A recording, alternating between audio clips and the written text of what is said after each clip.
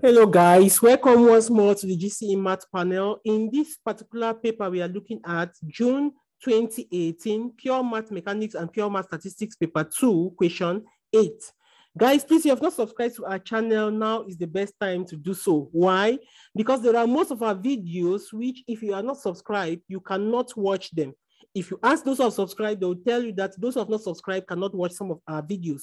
And that's just it. So we are equally uh, begging on you not to just subscribe, but to click on the notifications and to share this video on other WhatsApp study groups and on Facebook. You can equally join us on www.gcmathspanel.com where we have past questions and solutions, not just for mathematics, but other subjects. Note, this panel has changed from the GCE Maths panel to the GCE panel.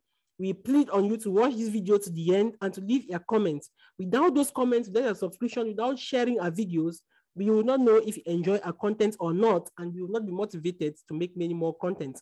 And sharing this content might just save the life of a brother or a sister somewhere who is actually in difficulty. And God will richly bless you as you share these our videos. Thank you. Let's tackle this question, which reads, find the general solution of sine x plus pi on 6 equals 2 cos x. So go step by step. With this question, what I advise is, it's difficult to have um, maybe a shortcut for sine, sine, or cos, cos. Why? Because the two on the right-hand side is going to be some sort of a disturbance. So what we do here is we expand the left-hand side, bring like terms together and simplify. So sine x plus pi on 6 will be sine x cos pi on 6 plus cos x sine pi on 6, and that will be called 2 cos x. But you know that cos pi on 6 is equal to root 3 on 2, while sine pi on 6 is a half. So multiply all this by 2 we will have root 3 sine x plus cos x to be equal to 4 cos x. Bringing like terms together will give us uh, root 3 times x to be equal to 3 cos x. Now, if we divide both sides by cos x, uh, root 3 cos x, this is what we are going to have. Or let me say, divide both sides by 3 cos x, uh, we are going to have tan x to be equal to root 3. When you do the division, this is what you're going to have. And from here, the general solution of tan x equals to 3 will be pi on 3 plus or minus n pi. Why? Because the period of the pi of the tan theta function is pi and not 2 pi like sine and cosine. So this is the general solution where n is an element of the set of integers. Now, the second part of the equation reads the vector equations of two lines L1 and L2 are such that L1 is that and L2 is that. Find A, the point of intersection of the line L1 and L2. So for the point of intersection, guys, we just have to equate line one to line two. And I'm using the column matrix form or column vector form rather. So we have one plus two lambda, two plus lambda, zero plus three lambda to be equal to zero plus mu, minus one plus two mu, minus four plus five mu. That's for line one and line two.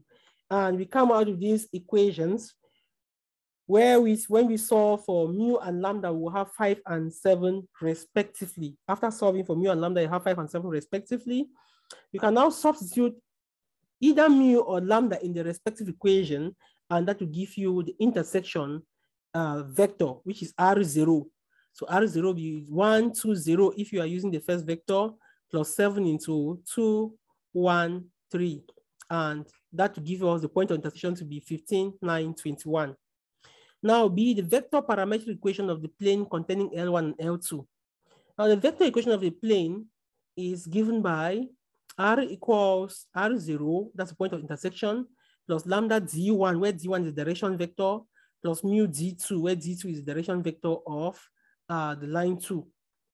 So this just give us 15, 9, 21, plus lambda into 213, plus mu into 3, 2, 5.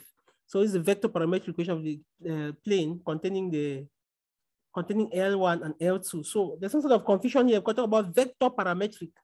So this is this equation is called the vector parametric equation. Okay, so don't be confused with this.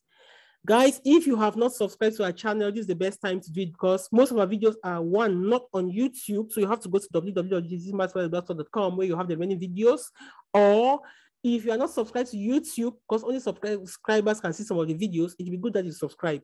When you subscribe, you encourage us to make more content, and when we make more content, we serve you better. So we are depending on your subscriptions.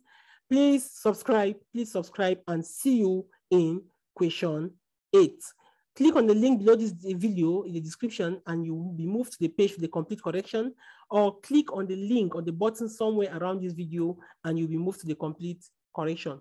See you in question nine. Thank you so much and bye-bye.